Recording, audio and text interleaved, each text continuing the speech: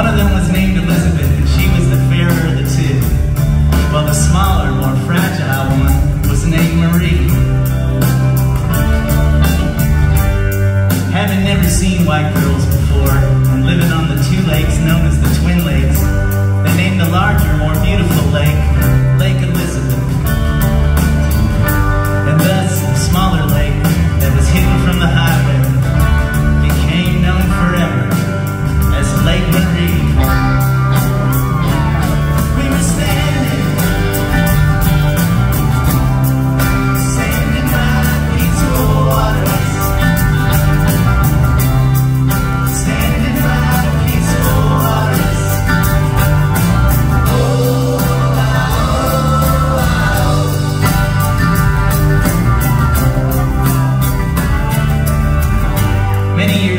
I found myself talking to this girl who had her back turned toward Lake Marie.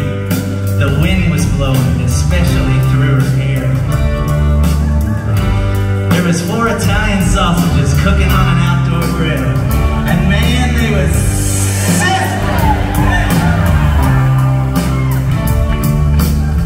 Many years later, we found ourselves in Canada, trying to save our marriage and perhaps catch a few fish whatever came first.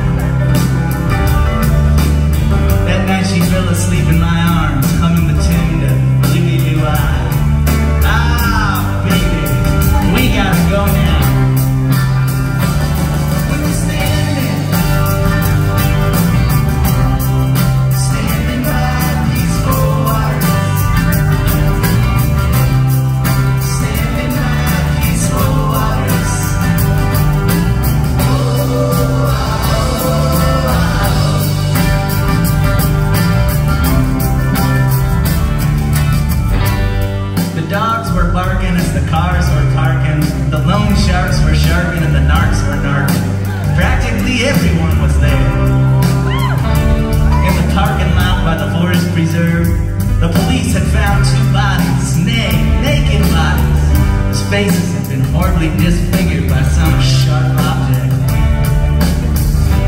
I saw it on the news, the TV news in a black and white video. You know what blood